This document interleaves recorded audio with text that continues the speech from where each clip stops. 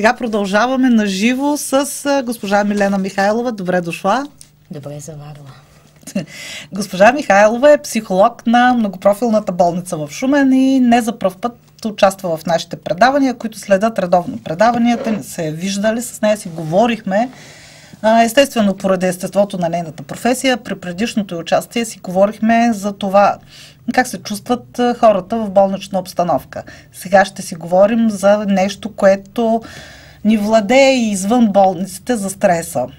Нали така? Той ни владее навсякъде. Навсякъде, да. Стреса, каквото и да си приказваме, хората, дори и най-неизкушените в медицинската сфера, знаят, че стреса е така световният бич, който според медиците отключва всички болести. Абсолютно, да. Какво ни причинява обаче, как, как един човек да, да разбере, че е под влияние на стрес, защото в повечето случаи човек нали, просто казва много работа, има много съм натварен, или така има много проблеми вкъщи или много проблеми нали, в финансовите си сфери и така спята за нормално да има много проблеми, да е много натварен, да е много притеснен и да го брои това за стрес. Как, как се проявява стреса? Вие сте с а, такива хора, работите с такива хора, които така или иначе са попадали вече в болницата. И как, как се проявява този стрес? Как да разберем, че сме под стрес? Значи, първо бих дала едно сравнение за стреса, което означава напрежение, натиск и образно бих го сравнила с едно опънато въже, което всеки момент ще се скъса а, как да разберем? Има много индикатори, по които може да разберем, че сме в стрес. И те са емоционални, а, когнитивни, умствени, поведенчески и така нататък. А, но това са най-общите аспекти, в които се изразява чрез емоции, когниция и поведение това, че човек е в стрес. А, стреса е нещо нормално, когато не е прекалено силен, не е прекалено продължително време и не, а, не така не дисбалансира функционирането във всяка една област. Човек, ако има прекалено много работа, прекалено дълго време, това стрес ли е или просто претоварване с работа? Това по-скоро е претоварване. А стрес е когато всичко, което пак казвам, а, нарушава по някакъв начин функционирането му. А, например, а, когато не можеш да заспи, когато мисли посред нощ дълго време, когато м- има крайни срокове за изпълнение, го притискат. А, всичко, което а, му пречи да разсъждава трезво, да мисли трезво и да чувства трезво нещата. Тоест, безсънието е един от сигурните така индикатори за стрес, така ли? Да, не само безсънието. А, на, чисто на емоционално ниво, понеже емоцията са на, така, на най-низко ниво, а, бих казала, че първите индикатори за стрес това са раздразнението. А, човек става по-чувствителен към всичко. А, вижда само в негативната страна на дадена задача или дейност а, и а, се фокусира твърде много върху негативната страна. А, То това стрес ли е или просто е поведен, поведение житейско, защото има много хора, които така си прекарват цял, цял живот. Като, ами... като забелязват основно негативните неща и около значи, себе си, и около хората. може би е добре да започна а, чисто физически, на физическо ниво, какво м- става с нашия организъм, с а, така наречената невротрансмисия в нашия организъм.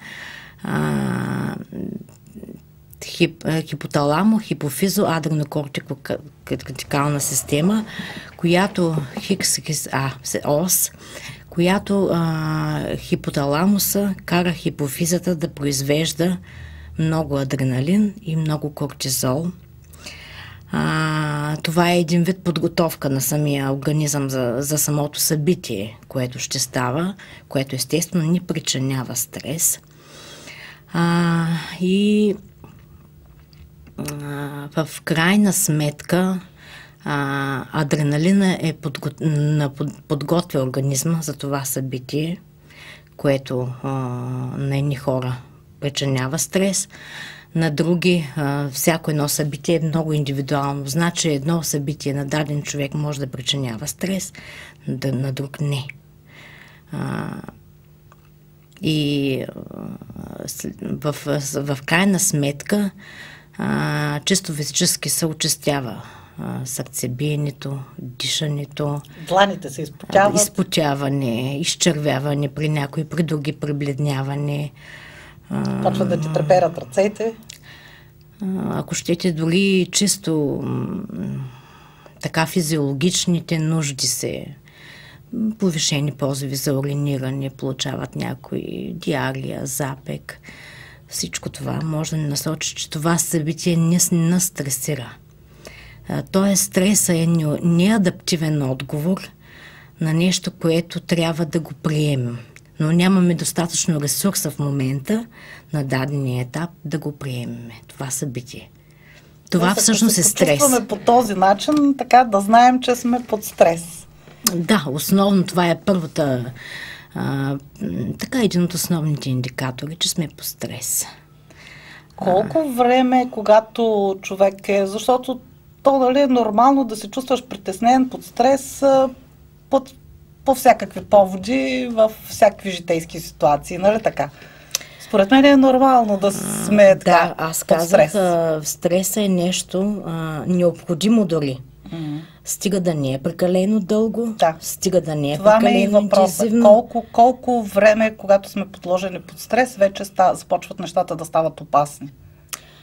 А, значи, а, доказано е, че а, едно събитие, колкото е по... А, не сме подготвени за него, по-неочаквано, колкото в него има и неяснота, неизвестност и колкото е по-неизбежно, толкова и по-стресиращо. А, има една специална таблица, по, които, по която ние психолозите работим, а, така наречените стресори. Само да уточня, стресор е самото събитие, което предизвиква стреса. А, така наречените стресори, в тях попадат а, с, сега с много силен интензивен стрес а, смърт на съпруга, смърт на, на близък, на близък смърт, не дай Боже, на дете, а, уволнение, фалит, затвор, а, женитба, ако щете. Тя е, макар че в положителен аспект, но тя е също в а, така се води в, за м- голям стрес. Голям стрес, да. Нормално. А, сега показват всичко, моите което... колеги, извинявай, че те прекъсвам, моите колеги сега показват тези прекрасни цветя, които ти донеси и ни подари. Те изглеждат наистина много красиво. Това е антистрес терапия, сигурно, което и до там символична да, антистрес терапия, която ни прилагаш на, наш, на нашия екип. Така, говорихме за стресорите. А, да, значи а, тези събития. А в тази класация. Заболяване също. О, да, разбира се, как. Особено а, сериозни заболявания. Особено сериозни заболявания с а, така очакван смъртен изход. А, в тази класация а, влизат така особено а, силните а, емоции, които изпитват и които изпитва човек и кои, с които трябва да се справи. И пак казвам, а, това събитие, всичко това, което изборих е неизбежно, с, неясн, с неяснота и връхлита често внезапно. Човек, особено когато не е психически подготвен за него. Тоест тогава стресът е по-голям. Много по-голям. Значи да разбирам, че ако имаме някакво събитие, което също не е приятно, примерно не знам как, какъв, какъв пример да дам. Ти ще, ти ще дадеш някакъв по-подходящ пример, да не изпадне в някаква грешка от, на психолозите, но някакво събитие, което не е приятно, но, но предварително сме го знаели, очаквали и сме подготвени за него, това няма да ни предизвика такъв стрес. А, пак ще предизвика стрес, но не с такава сила. Не Каквато ако е самата самото Колкото събитие. ако е неочаквано. Има, Тоест, ако има самия факт на изненада. На изненада, да. Колкото е по-голяма е изненадата, колкото по-неподготвени сме за това събитие, съответно толкова и по-голям стрес ни причинява то. А в тая класификация на стресорите, А, кое... Стресови събития, да. Така, Стресови. кои са, кои са нещата, които предизвикват най- най-силен стрес, финансови проблеми, емоционални проблеми, здравословни проблеми. Аз бях чела някъде класация, примерно, кое събитие натварва повече психиката? Значи пак е строго индивидуално и е, отговора на всеки човек е строго индивидуален. Естествено, на първо място, пак ще кажа, е смърт на близък човек, смърт на съпруг, смърт на дете, смърт на приятел. А, това като че ли най-така наразтърсва емоционално. Второто е, може би, загуба на, на работа, особено на любима работа. Това е свързано вече с социални контакти, с, въобще с социалния ни живот като цяло. А, Направо с живота не е свързано, защото човек прекарва Безспорно. на работа повече, Безспорно. отколкото Да, тя е втория домашна обстановка, така че е А, много важно. Много важно. А, също така, какво бих дала още като пример? А, финансовите проблеми. Не дай Боже, примерно, всичко тече нормално, всичко е добре в финансовата, а, в финансовата сфера и в един момент а, например, дадена фирма или там човек, който се занимава с а, някакъв бизнес, фалира. Ето нещо, което наистина може да докара с много силен стрес. Въобще всички събития, включително и положителни, могат да, донесат, могат да допринесат стрес. Това са, ако щете, може и гостуването на роднини да ни причини стрес. А, Особено ако сега да ни каже нещо за свекървите, ще вляза в а, там друга територия, но да. примерно. Примерно, просто всичко, което а, изисква някакъв ресурс да се адаптираме към, към съответната ситуация. Всъщност, дали ще е адаптивен или не, не е адаптивен отговора а, на, на съответния човек, зависи от това, от как, по какъв начин той ще излезе от самата, от самата ситуация и по какъв начин ще преодолее самото стресово събитие.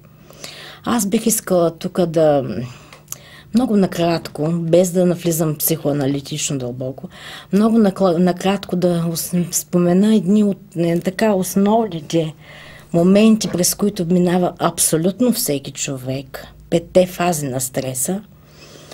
А, те са много интересни и, и всеки човек, ако наистина стреса, особено ако е силен, а, всеки човек преминава през тях, вече зависи как преминава и м, дали цикли в а, този кръг на тези фази или преминава успешно през тях. Няма човек, който да не преминава през тях. Въпросът е как преминава. Първата фаза това е шока. Естествено, стресовото събитие причинява шок. Шока не, не би няколко часа продължава, не би следвало да продължава повече от едно денонощие, тогава вече е нещо друго. Шок. Много често след шока се влиза в фаза на отричане. Значи какво значи? Не, това не се случва. Това, това не може да се случва на мене. Или бе, кой знае какво, пък нищо не е станало.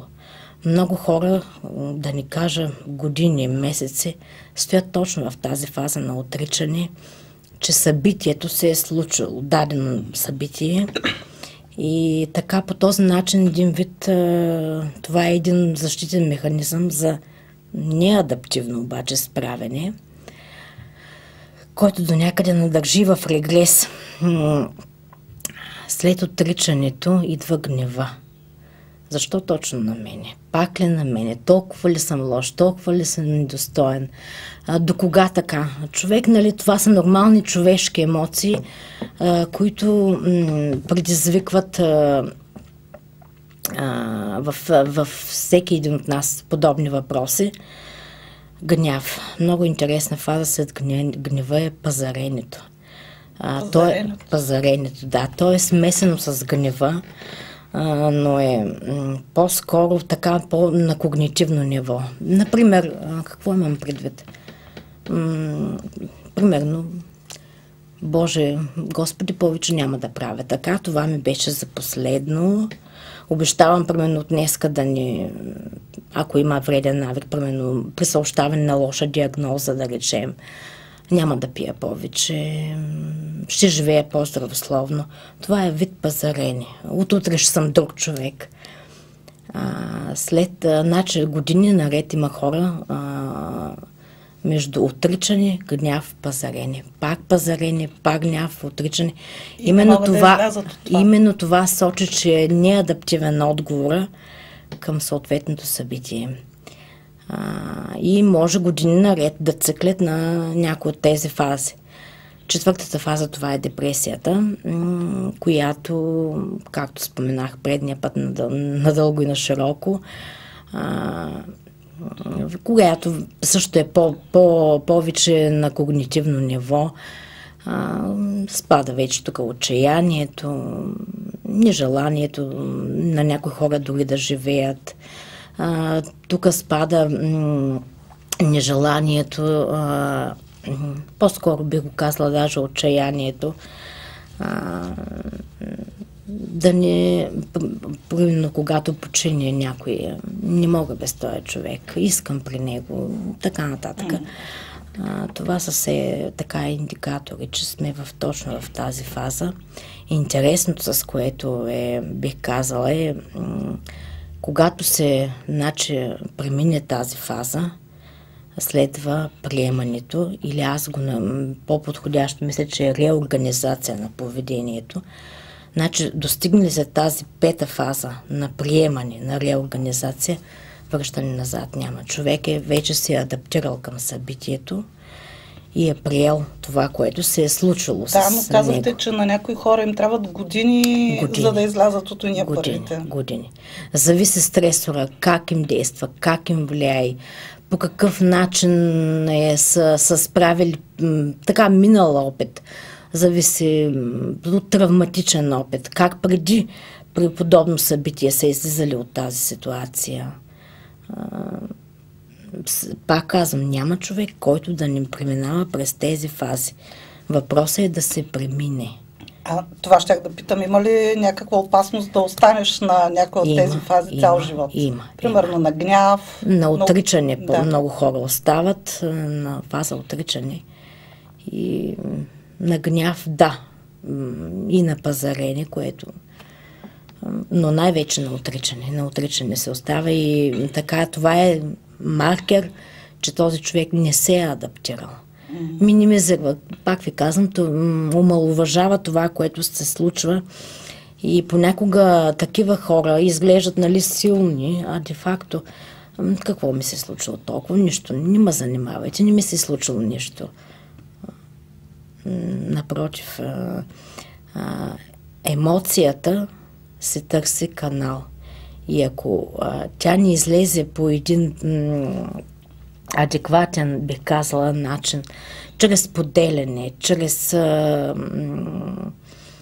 а, получаване на помощ, на подкрепа, на съвет, а, и ако не се най-вече, ако не се говори за тази емоция, която намъчи в момента, тя винаги се търси канал и се насочва някъде навътре вече, в тялото всъщност да говориш за това, което щях да те питам. То е съвсем а, резонен следващия въпрос. Как да се справим? Значи, а, има много начини. Първия основен начин, когато разберем, а, че сме... То всъщност околните по-скоро разбират. А, ние по-рядко. Обикновено го отдаваме, защото не сме уморени, защото сме болни, защото а, сме м- абе, на някакво такова събитие, което нещо не ми е наред в момента. И по-скоро околните биха ни насочили, че има промяна в поведението ни и м- биха нас стимулирали така да споделяме. А, за стреса, както и за всичко останало, трябва да се говори. А, ако много а, зрял така начин е да потърсиш и адекватна професионална помощ от специалист по психично здраве, за да не м- допуснеш този, този стрес, тази стресова реакция. А, има и осложнения, кое, като, например, посттравматичния стрес – който вече се проявява в едни по-доли симптоматики и често не само изисква на места на психолог, а и на психиатър. Но може би за посттравматичния стрес да говорим, понеже също е така една тема, която изисква малко по-задълбочено така говорене за нея. А, може в някои от следващите предавания Добре. да говорим за посттравматичния стрес. Добре. Много интересно също явление. Вие особено имате но... богат опит, предполагам, точно с такива хора, които са по една или друга, друга причина подложени на такъв стрес. Да, да. Пак ви казвам, стресът е навсякъде. Въпрос е а, как реагираме на него, как отреагираме и как се адаптираме към самото стресово събитие. Добре, но човек не може да прецени, че състоянието му е сериозно. Да, за това пак казвам, когато човек има нещо, което го мъчи, най-добре е да се потърси специализирана помощ от специалист-психолог, ако нещо усети пък прекалено много, че нещата се задълбочават и да потърси психиатър. Защото тези, извинявай, че те прекъсвам, но примерно тези симптоми, безсъние, претоварване с работа, сигурно ги имат 70% от хората. Има таки, има таки. А, въпросът е, пак казвам, в интензитета и в продължителността. А, всеки понякога не може да спи, будува примерно до 2-3 часа. А, всеки понякога може да е разстроен, притеснен, объркан. Въпрос е колко време продължава това състояние. Добре, ти, ти дай някакви граници, примерно след една седмица или как? А, значи, м- след около 10 на дена или две седмици, ако човек а, продължава така, да не може да заспи, а, увеличава примерно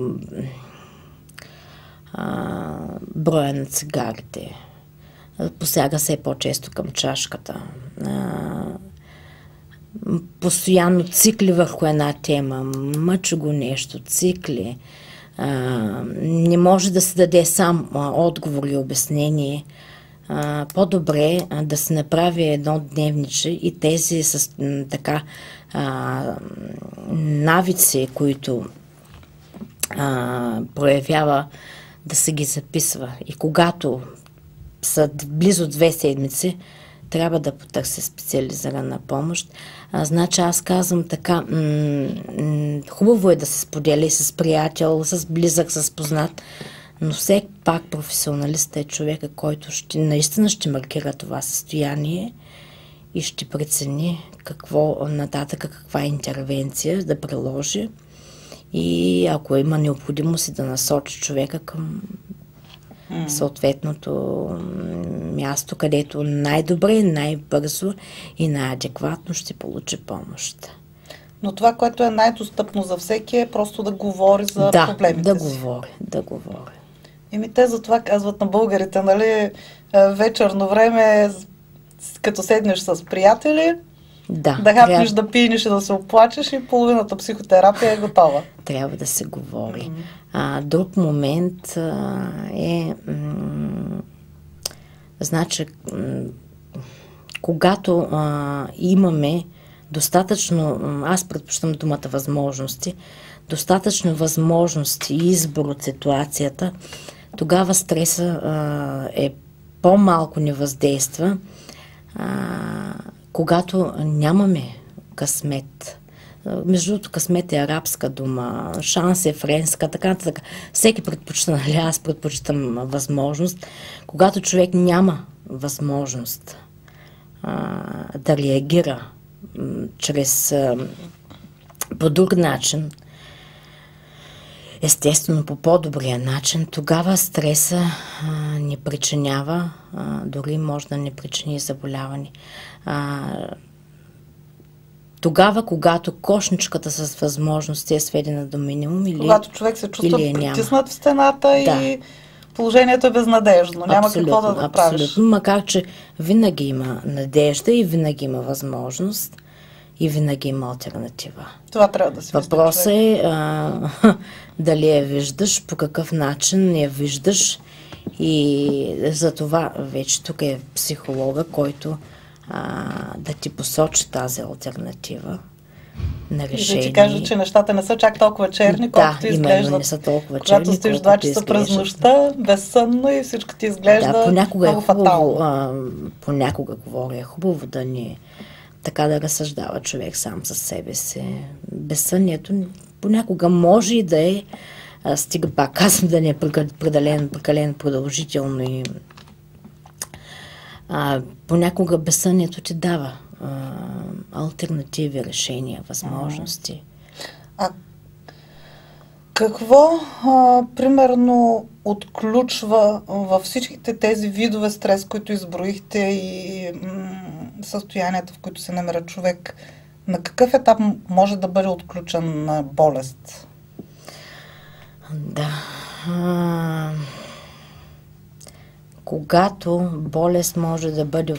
Значи, когато от много малък тази ос, която споменах в началото, хикс, хикс, аз, ос, оста, когато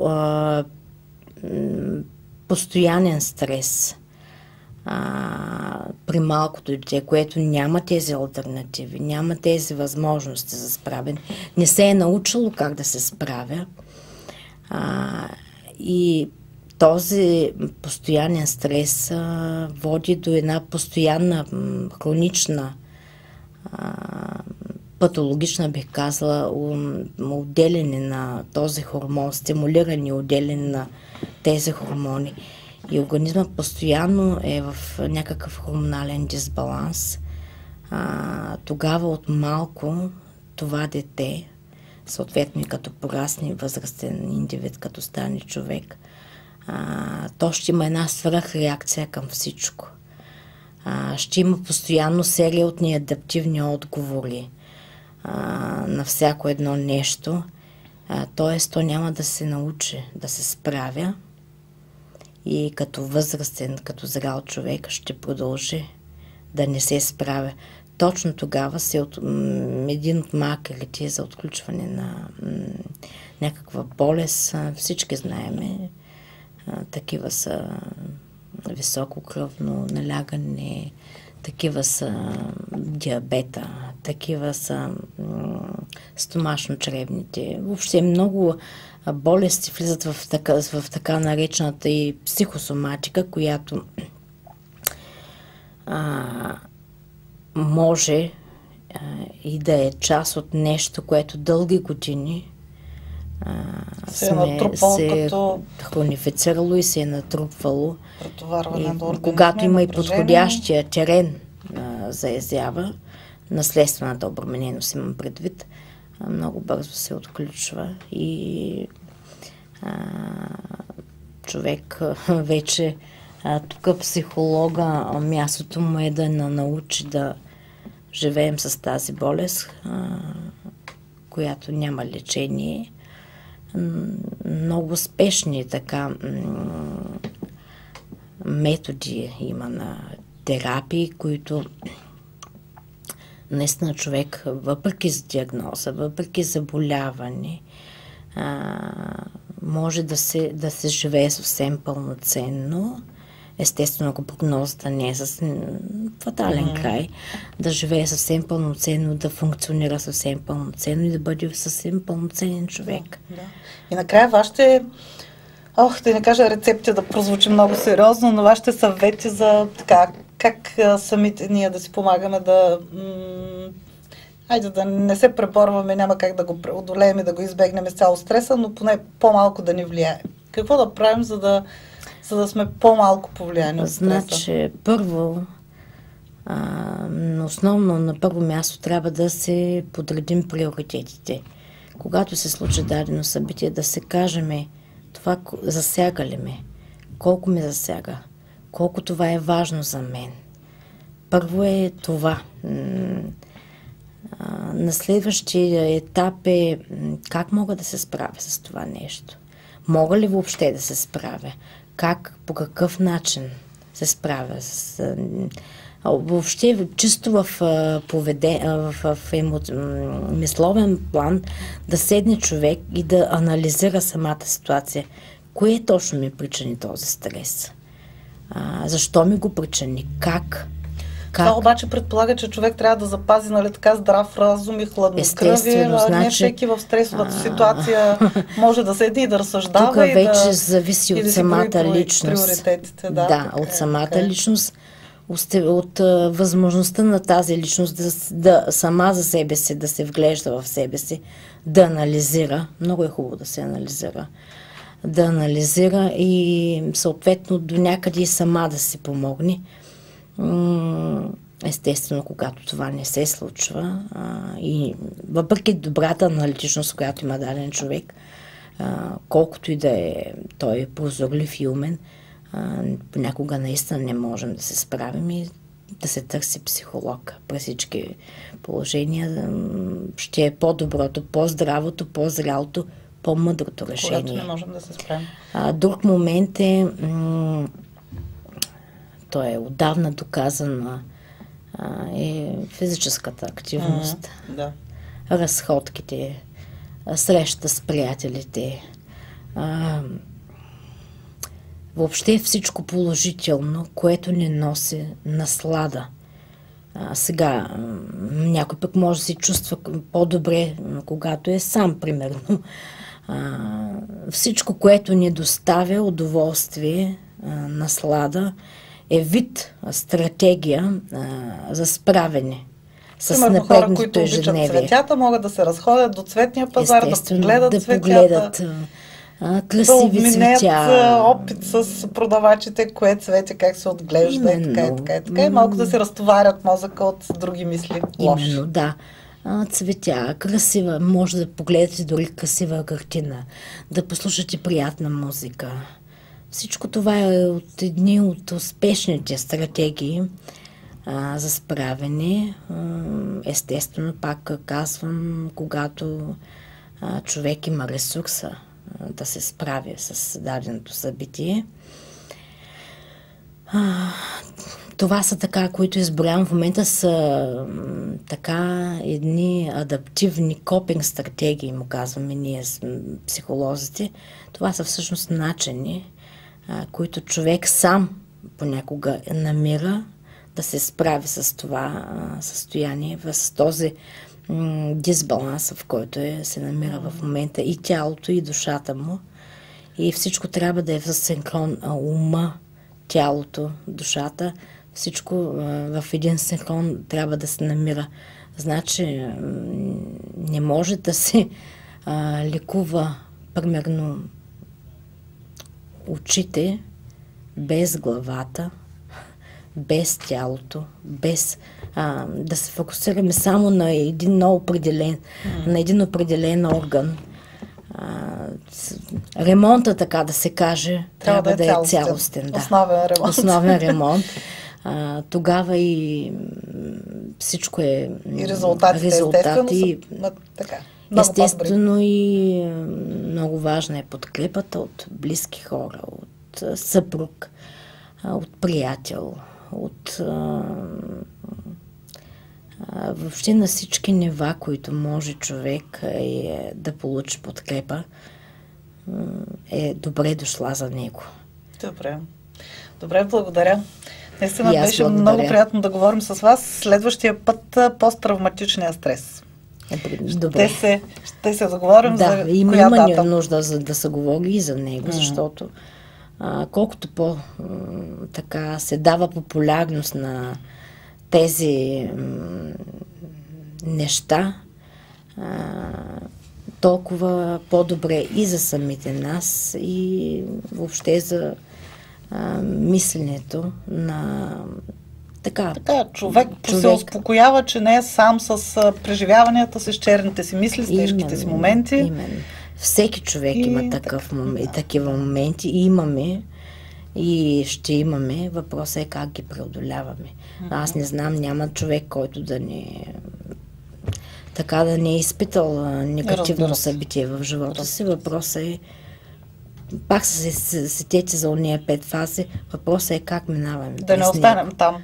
Да, Как да минем през тези Да, пет фази да. и да излезем от тях. минаваме? Добре, благодаря. И аз благодаря. Милена Михайлова, психолог на Шуменската болница. Говорихме се за стреса. Предполагам, че ви беше много интересно и полезно.